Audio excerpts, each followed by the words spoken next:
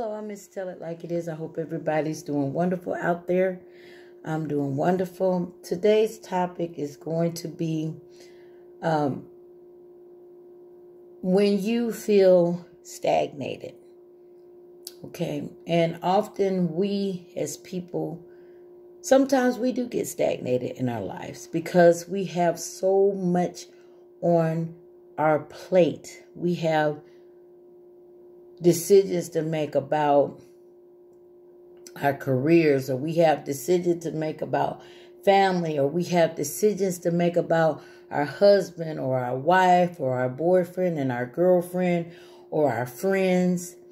And sometimes, because we have so much on our plate, everything can come together and be overwhelming.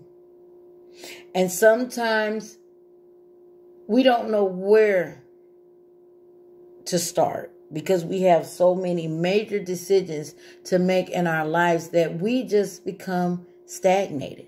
We just we just become stagnated because we are overwhelmed.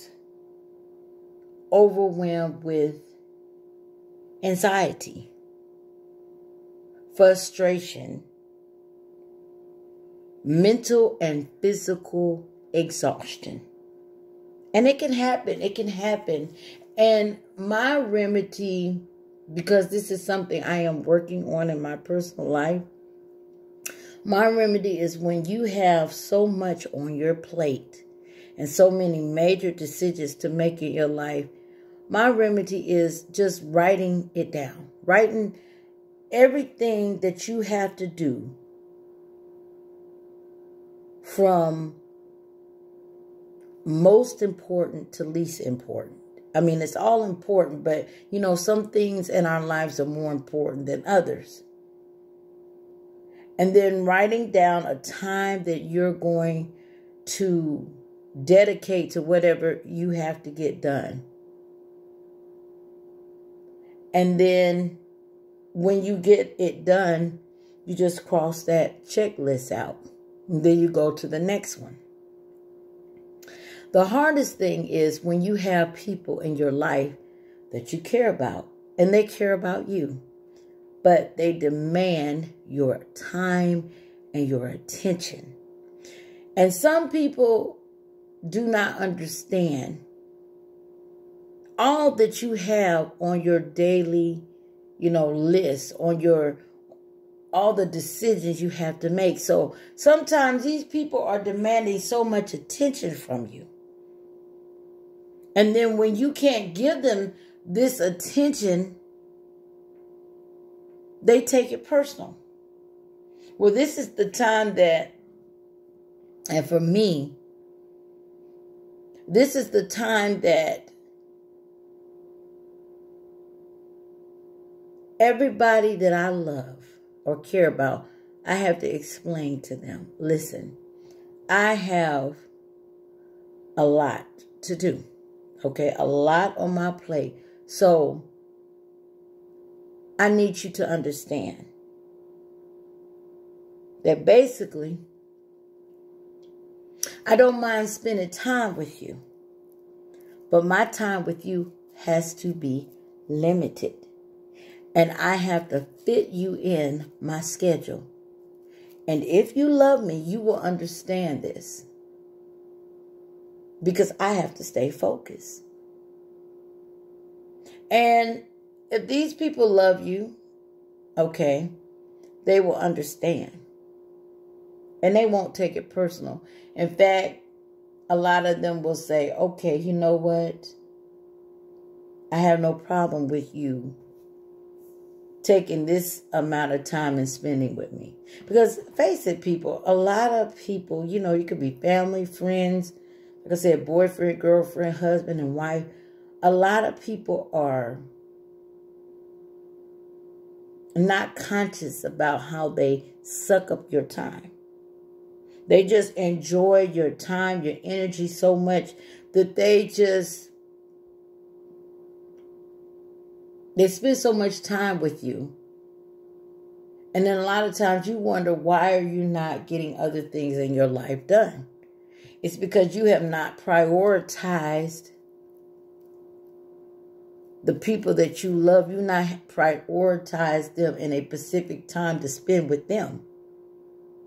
So you have all this, all these decisions that you have to make, along with all these people who love and care about you, and all these people who are demanding. It could be even your kids. Everybody's just demanding your attention. So you're like a, a person, an actor or actress with many hats in life. Okay, your mom over here, some of your mom and dad, okay? Some of your dad and mom, okay? Your husband, your wife, uh, your boyfriend, your girlfriend, your friends, you know. Um, you have so many people and then you just have, some of you just have associates. And everybody, and sometimes it's even strangers, that are trying to get into your life. And my, my thing is, baby, when it gets like that, I'm just to tell you, and this is my saying, get in where you fit in, okay? and if you're not fitting in, don't take it personal, okay? Because for me, for Miss Tell It Like It Is, that's my saying. Get in where you fit in. And if you're not fitting in where you want to fit in, do not take it personal. So, people, it's all about prioritizing your time and mapping out what's most important. And then also prioritizing the time that you're going to spend with people that you love. Now, some of them may not understand.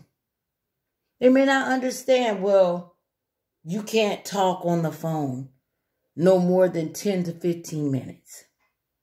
Okay, but for me, I'm, since I'm still like it is, tough, okay? Like I said, get in where you fit in. and if you're not fitting in where you want to be, then hey, it's okay. I think the reason why I brought up this subject is because um, I see a lot of people that I know that deals with this, including myself, you know. Um, and it is so important to know and have limits and boundaries in your life with the people that you love, okay? It's important, okay? And it doesn't matter who it may be mom, dad, children, boyfriend, girlfriend, husband, wife, associates, co workers, who, what, whoever it may be in your life that wants to suck up and take up your time, but they're not aware of it. They're not seeing what you have to do. This is why you have to communicate, people. You have to tell them, look, I have this to do. You you don't always have to go in specifics, but just let them know I have a lot on my plate. And please don't take it personal. But I have to stay focused. I have to get this done. So I can't talk to you right now. I will have to talk to you later. Okay. Now, if it's important, you may want to stop and talk to that person. If it's a emergency. But just uh, sometimes all these people, you know, they tend to take up your time and they're not conscious of it. They're not, a lot of times, not deliberately doing it.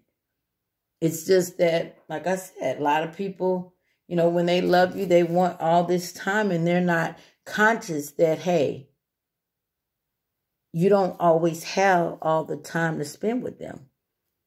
So, so it's about prioritizing, prioritizing your time, everything that you have to do from most important to least important, and then prioritizing the time that you have to spend with those that you love. And when you become more organized and prioritize that it does not become overwhelming. Saying that, people, I'm Miss Tell Like It Is. This is a short video. Have a wonderful day. I'm out. Tulu.